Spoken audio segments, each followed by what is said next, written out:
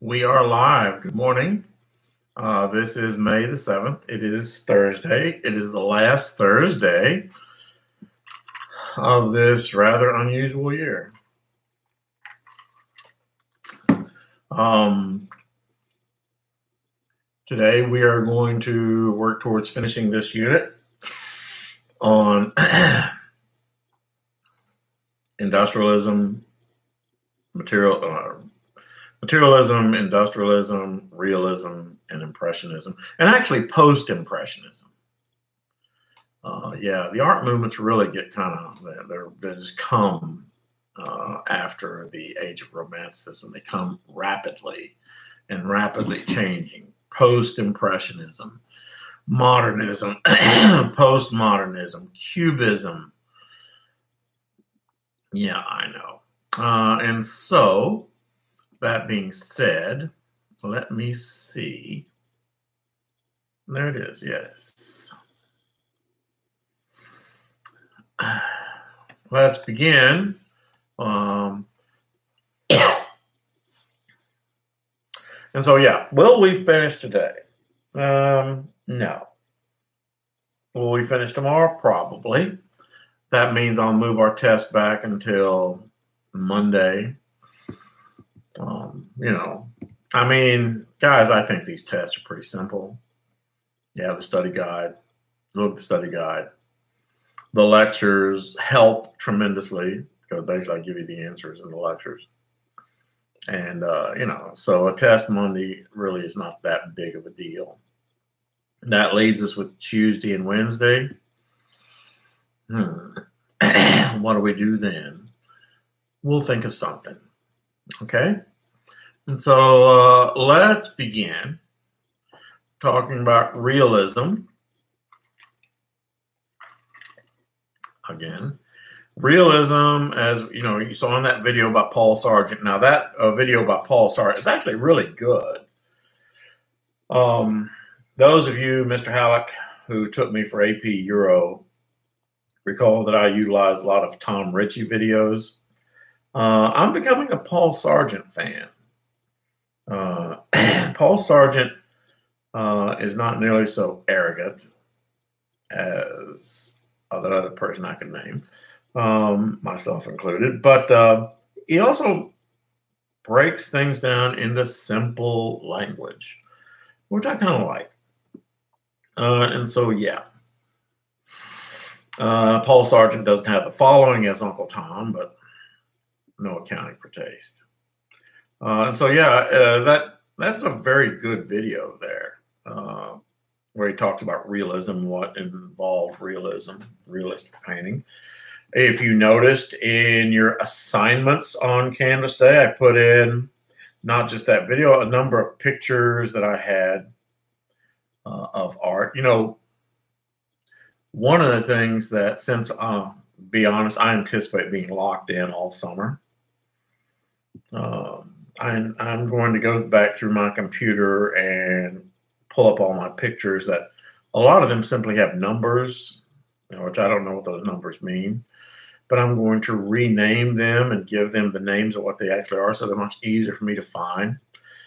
Um, this Mac computer, which I've grown very fond of in the 10 years I've had it, uh, has, I'd swear it, it probably has about 2,000 pictures in it and uh, you know they're they're not given names, and so I've got to fix that. I've got to change that, particularly if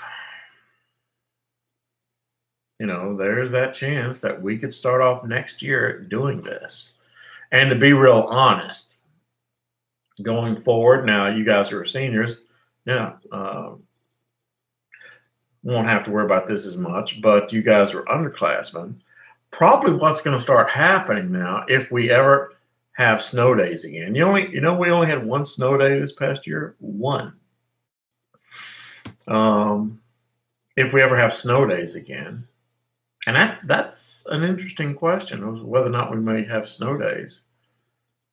I believe that I believe the world is warming. That's why we have.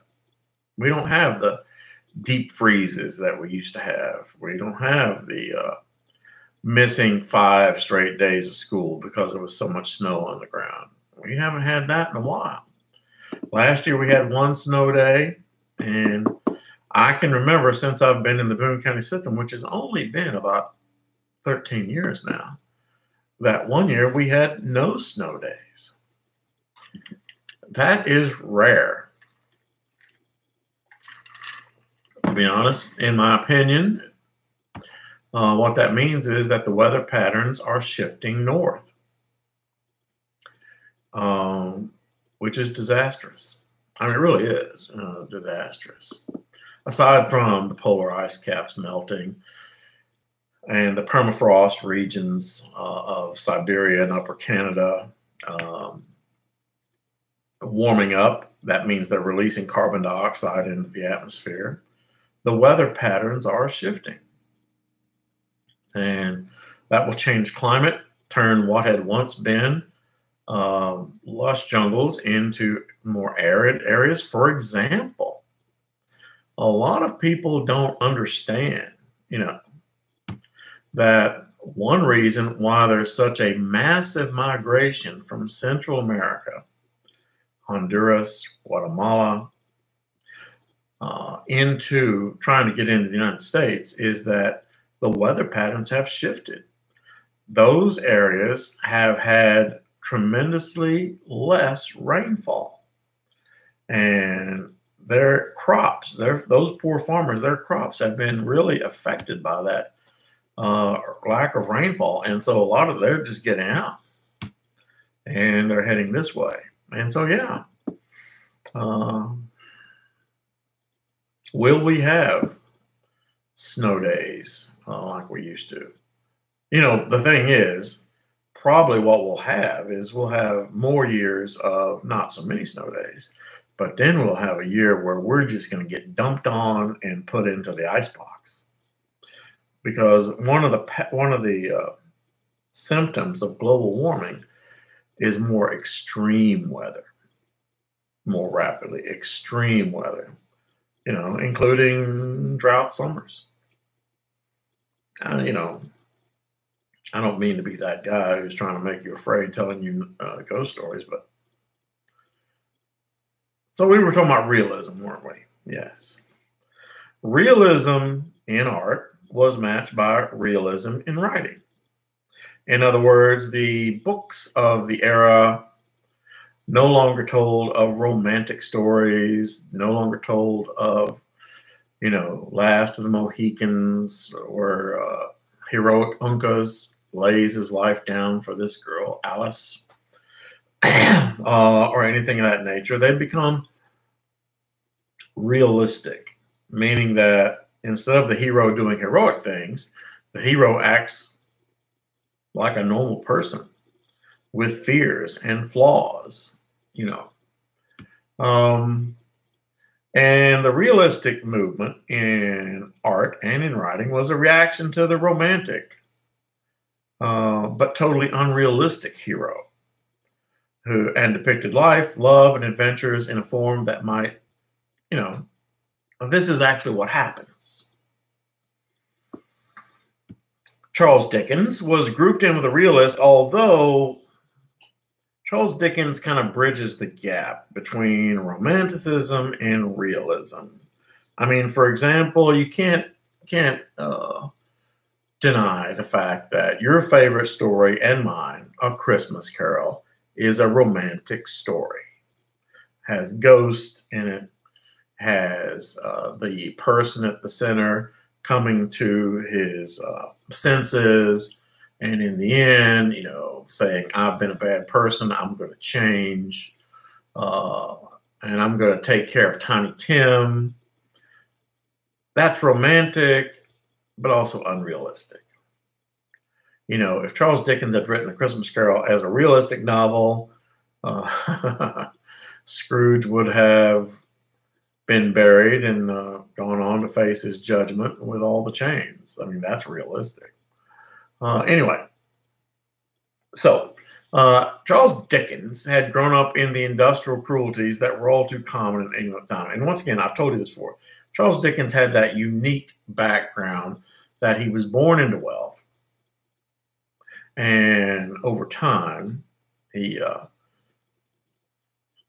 his family lost that wealth. And so his teenage years, he was working class, lower working class. And so he saw both ends of the spectrum. Dickens had grown up and he'd, he'd witnessed firsthand the cruelties of the industrial age, uh, child labor, the fact that the city smelled awful, you know, and he knew both ends of the spectrum. And that gave him the background to write David Copperfield. But more importantly, a, a book that you have never, I don't know you're thinking David Copperfield, he's that magician. He's that magic guy, right? Well, where do you think he got his name? David Copperfield is uh, David Copperfield is a story about a young child being uh, brought up in the English workhouses. Could I have more pudding, sir? More pudding? How can you have any pudding if you haven't eaten your meat? Anyway, uh, so yeah, uh, but now David Copperfield's book that really was realistic is something called Bleak House. Uh, Bleak House was a better portrait of the English legal system with all its grit uh, and its very skulking but realistic characters, real people doing real things, uh, alcoholism, criminal criminal activities. Uh, Howard Dickens was able to make his characters both realistic and entirely unlikely. His novels, Dickens, not like Great Expectations. If you ever, and I, I know some of you guys have read Great Expectations. Great Expectations, where uh, it begins with Pip being snatched up by this convict, the convict threatening threatening Pip's life, so that Pip will bring him food, which Pip does, and then the convict leaves, and then throughout the rest of his life, Pip becomes the benefactor of you know some acts of generosity, which in the end, Pip finds out was that convict. Which, come to think of, it's really romantic. So his novels are full of remote coincidences and sentimentality, which made them popular amongst a dreaming audience during the uh, grisly days of the Industrial Revolution.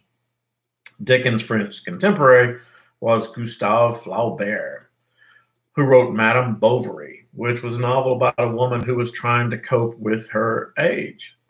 I mean, she was getting older. Like that never happens. And, you know, she was trying to cope with this. She'd grown up in wealth, she'd grown up in glamour, and she kept looking in the mirror, and mirrors don't lie and she eventually turns to adultery and finally commits suicide. You know, um, a grisly but not unrealistic scenario. So the novel scandalized the proper French reading public because here was a novel about a woman, about her, you know, trials, where she's the featured character, and she eventually commits suicide. Roman numeral six. The Industrial Revolution brought forth the modern city with both its luxuries and its traumas. In modern cities like Paris, London, Amsterdam, and New York, uh, by this time had police forces, lighted streets, running water, and sewage. Now, here we're talking about the latter part of the 19th century. Trust me, in the early part of the 19th century, those cities I just mentioned were open sewers, particularly London and Paris, uh, and New York, to be honest. And I know, oh, you're saying, oh my God, he's going to talk about sewage systems again. Well, I am. Uh, I mean, they fascinate me. But uh, I used to watch this series on the History Channel called um, Ancient Cities and it talked about what life would have been like to have lived in this city or that city in the middle part or the early part of the 19th century. And, and one of the cities it talked about was New York. And it talked about how in New York, in the days before they had a, uh, a citywide sewer system, that, you know, they New York was still this crowded city where everybody lived actually more densely packed than they do today in New York City. And of course, everybody poops. And there were outhouses that were out on the street and people would use them. And but the it it didn't have anywhere to go. And during the colder days of the wintertime, it would freeze and continue to pile up. And they said during the uh, hardest freezes that it could be four feet deep and you walked on top of it, frozen. And then it eventually melted. But anyway, these cities also had crime, overcrowded tenements. A tenement is where several families live in the same building, share walls, large numbers of people living in one room. You know, the basically the uh, the growing pains of an early industrial revolution.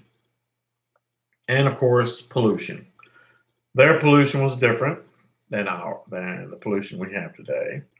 It wasn't so much smokestacks, although that did exist. It was water pollution and also uh, the kind of pollution that horses leave behind when they go up and down the streets.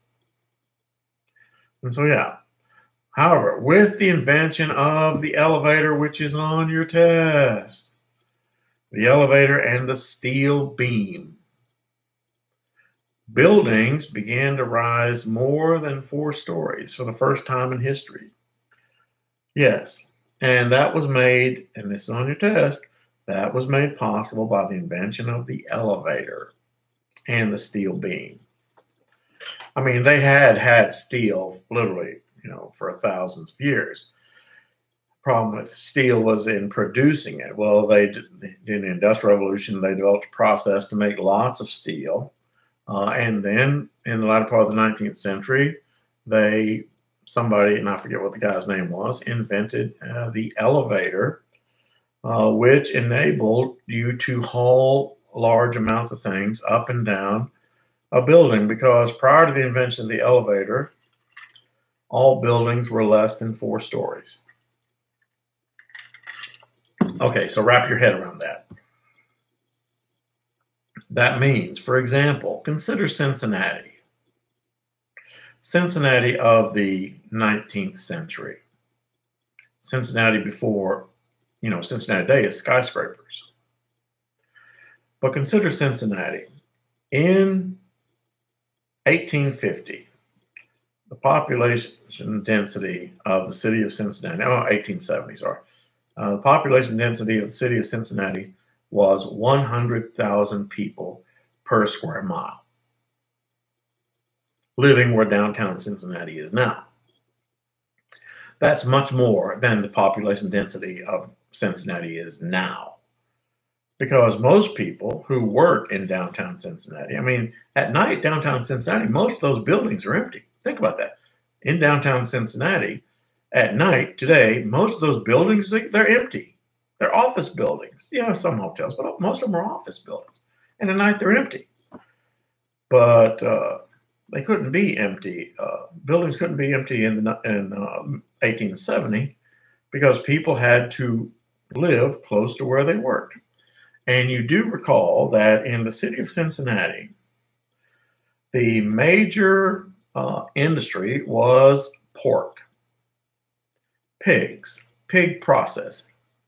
That meant that they marched pigs from farms all over southern Ohio. They marched them, herded them into Cincinnati, and they marched them into the stockyards, where those pigs were then turned into sausage, pork chops, lard, et cetera, et cetera.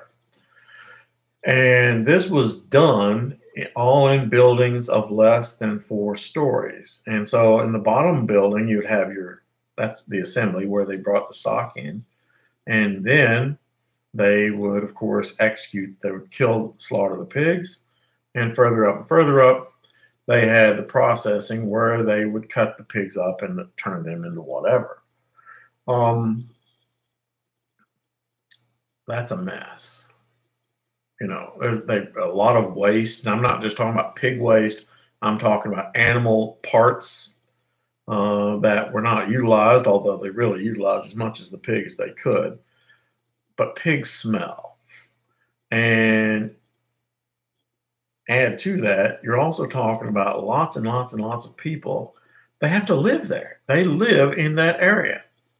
People who work in Cincinnati today, most of them live in Mason. They live in Price Hill. They live uh, Mount Healthy. They live in Clermont County, and they drive into Cincinnati. They they had to walk, and so to walk, you had to live in walking distance, and uh, that meant you lived pretty close to where the pigs were being processed. And once again, process is a nice word for slaughtering. 100,000 people per square mile, all living in buildings less than four stories. Oh, yeah, they didn't have air conditioning. Imagine the summers pigs, overcrowding, and Cincinnati humidity. Yeah. Now, if you were one of the lucky ones, if you were one of the wealthy, and you, here's what's interesting you worked in Cincinnati, you would then walk across the Roebling Bridge into northern Kentucky, into Covington and Newport. And because those houses that you see down there, all the little row houses that are so close together and go straight up three stories and they're all little thin houses, uh, that's where the rich people lived. And if you notice, if you look at those houses, if you go down there and really take a good look at them, most of those houses were built 1840, 1850, 1860. Um, yeah. And that was where the wealthy people lived because they could get away from their work. But the average person, no, the average person lived in Cincinnati um, processing pigs. And so, yeah, that kind of pollution that we're talking about. Okay.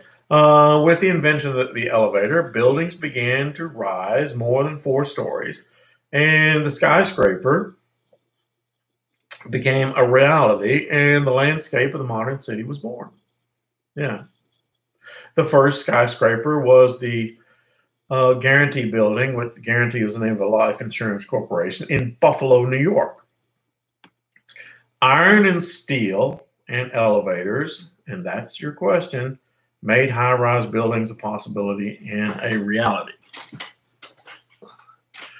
Uh, so, yeah, unfortunately, you can't look at the impression style of Claude Monet, although I did give you a Monet, Monet's Water Lilies. Um, that's Impressionism, but it shows what big city living was like. Uh, yeah. The Guaranty Building of Buffalo, New York was the first skyscraper. It was architected by Louis H. Sullivan and had the first modern elevator. During this time, Paris becomes known as the City of Lights because, thank you, Thomas Edison, um, they lit up the city. And as the City of Lights, it stayed on all night long. I mean, once again, Thomas Edison's invention of the light bulb may, turned the world into a place that was open 24 hours a day. Slowly at first, but yeah. So, building a modern city like St. Petersburg, and by the way, St. Petersburg, Russia, and Washington, D.C. are mentioned in your test. They have one thing in common. Both St. Petersburg, well, actually, have several things in common, but both St. Petersburg, Washington, and Washington, D.C. were originally built on swampland swampland that had to be drained uh, to build the city. Uh, St. Petersburg, Russia, was built by Peter the Great of Russia, a king, uh, a czar, I'm sorry, a czar who had no compunction about uh, the lives of his citizenry. It was said that the city of St. Petersburg, Russia, was built on mud and bones. You say, what does that mean? Well, St. Peter's, the, the site he chose was a swamp. Uh, but it was also would have made a perfect seaport. He just had to get rid of the swamp. So Saint uh, so Peter brought in literally thousands of workers who worked 12 months out of the year. And they worked on draining this swamp, and all of the stone upon which the city sat had to be hauled in from other places without locomotives, without automation. I mean, it was grueling, backbreaking work. And so these workers, I mean, you can be worked to death. Many of them died, though, of in the summertime. If you've ever been in the far north in the summertime, they have mosquitoes that will eat you for lunch. Mosquito borne illnesses in the summer. And then in the wintertime, exposure. I mean, it's one thing to be cold, another thing to be wet and cold. And when you're, you know, working in the mud, you get wet and cold. And yeah, exposure. 25,000 people died in the construction of, of uh, St. Petersburg, building Peter's new capital, um, which he was so proud of. Now, Washington, D.C. was also had an interesting history. First of all, Washington, D.C., if you ever look at the grid layout of the city, Washington, D.C. Um, was, as you know, D.C. is actually located within the boundaries of the state of Maryland. And uh, when they first went to build the city, the uh, Continental Congress or the Congress commissioned this dude, this architect, this engineer, um, and to show how much they trusted American engineers, they went out and got they went out and got this French guy. His name Pierre de l'Enfant, E N F A N T. And this guy uh, was a jerk. I mean, he was always complaining. First of all, it's in the swamp, it's in the wilderness, going to build a city. He's all mad. Uh, and to help him engineer the city, the Congress gave him the use of a slave. Uh, the slave's name was Benjamin Banneker. And this Pierre de l'Enfant kept complaining complaining and about this, that, and the other. And eventually he quits. He walks off the job in middle of the whole engineering of the city of Washington, D.C., laying out the city of Washington, D.C. He throws his head and said, I'm going back to France. And of course, Continental Congress is like, what are we going to do? Well, fortunately, and this is one of those stories in history that doesn't get told enough. Uh, fortunately, this slave, Benjamin Banneker, very, very intelligent. He he had the plans memorized. He knew exactly what uh, the Congress wanted and what Pierre de l'Enfant wanted in his design. And so the Congress wanted and what Pierre de l'Enfant wanted in his design. And so the city was laid out then, not by this fancy Dan French engineer, but by this African slave, who I'm sure when his work was finished went back to being a slave. Because this, after all, is America. I mean, remember, George Washington, Thomas Jefferson both owned slaves. And you don't own slaves by being a nice person. So yeah, tear down their monuments too. but anyway, so um, the city of Washington, now this is also reflected in your test. Most cities are built today, most modern cities are built on what you call a grid pattern, a grid pattern. A grid pattern where all the streets run north and south and east and west. Squares. Hmm? Washington, D.C. has two patterns. The first pattern is a wheel pattern, meaning that the center of the city of Washington, D.C. is the Capitol building. Now, one street pattern has all the major streets of the city of Washington, D.C., radiating outward like the spokes of a wheel. Like the spokes of a wheel. Now, laid on top of that uh, wheel spoke pattern is a grid pattern. So there are two patterns, test question. There are two patterns in the building of Washington, D.C. There's the wheel pattern, where once again, the Capitol, where the Congress meets, is the center of the wheel. And from that center, all these streets radiate out from, radiate out from the center in equal distance apart, just like I said, just like the spokes of a giant wheel. but the second pattern laid on top of the wheel pattern is the grid pattern, streets running north, south, east, and west. You do know, of course, that if you've ever been to Washington, all the streets have the names of states. Yeah. I mean, except for Constitution Avenue and things like that. okay. But yeah, St. Uh, Petersburg, Washington, D.C., interesting cities that were built in the 18th century.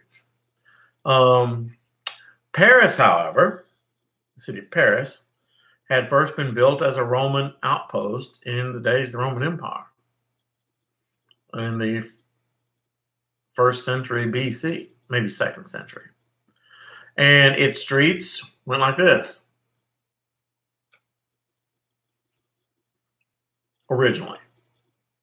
Kind of like Boston. If you've ever been to Boston, Old Town Boston, easy to get lost. Same thing for Pittsburgh. But anyway, uh, Paris had all these narrow, winding streets. Uh, modern cities, as it says there, are built on a grid.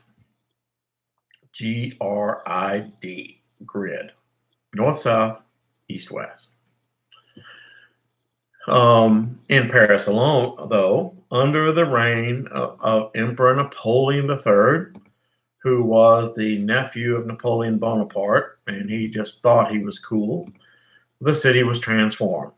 He, Napoleon III, destroyed over 1,000 old medieval era homes and replaced them with streets and north south boulevards that had very wide lanes that could not only accommodate lots of traffic, but could allow troop movements or fire brigade movements in case of riots or fires or anything like that. Now, finally, the city of Chicago, my favorite city. The Great Chicago Fire, and we talked about already the the great uh, diphtheria epidemic in 1874. The Great Chicago Fire resulted in the construction of a fire retardant first ever skyscraper. I mean, I think that uh, it was a lot of part. It was like 18 Chicago Fire. I don't recall, Mr. Halleck, what year it was. I think it was toward the end of the 1860s, maybe 1870s, that uh, city of Chicago got fire, caught fire, and burned to the ground. Burned to the ground because uh, the city was pretty much entirely made of wood. After that, they replaced that with brick. You know what? we are going to stop here with Roman numeral 7. We will pick up tomorrow, and your test is postponed till Tuesday. We're going to say that till Tuesday. How about that? Tuesday. And with that, I will leave you uh, on your own devices. It's a great day. Go out and enjoy the day safely, of course. And um, I'll see you tomorrow.